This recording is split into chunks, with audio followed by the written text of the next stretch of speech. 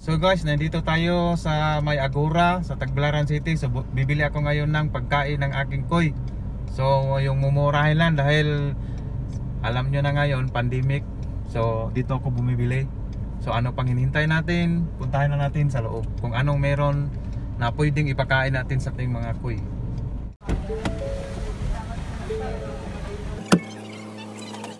Dong, tagpila din eh, dong. 35. kaneng yang aqua fisher? Oh. Tekan kudu kilo nih, Pila? Duha. Duha. tomorrow nih akong gipakaon sa kong kuy karon karon guys kay pandemic man karon di. Ari sa tas bartuhon. Tapi lagi lo. 35. Oh, berato ra kayo 35. Dua kilo sir. So, na ni sila karon sa Agora, so pwedeng mo palit dire.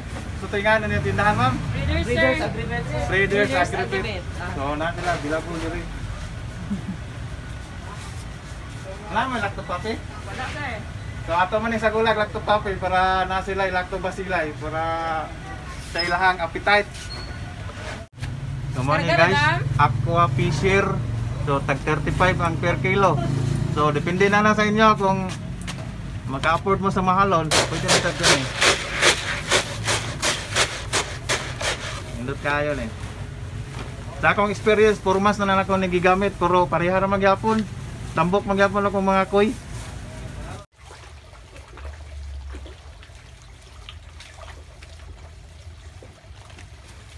Ayan, magandang umaga mga kabe. So ngayon papakainin na natin sila sa aking 35 kilo per ah, 35 kilo. So haluan natin ng lacto papi.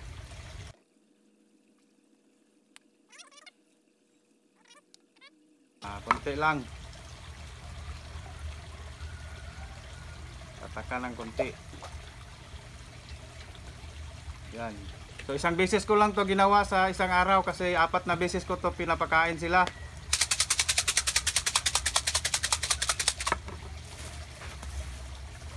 So antayin muna natin na ma-absorb yung pagkain nila, ah, yung lactopapis sa feeds.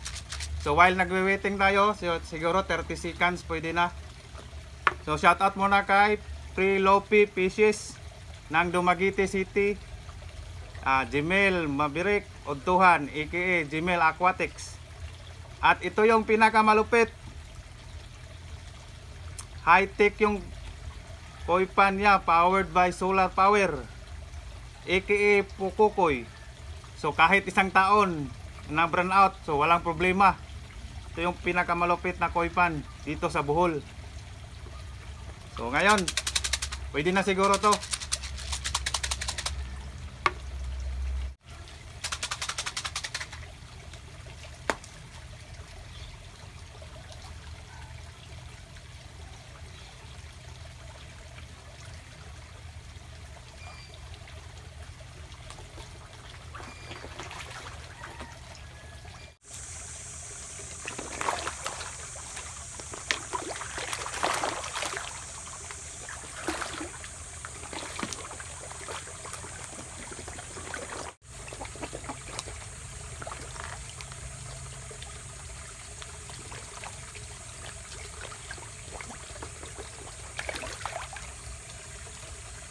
So ayun guys, so kayo na mag-decide kung alin yung ipapakain nyo. Yung ito ba, yung mumurahin. Pero sa akin, apat na buwan ko na to ginagamit.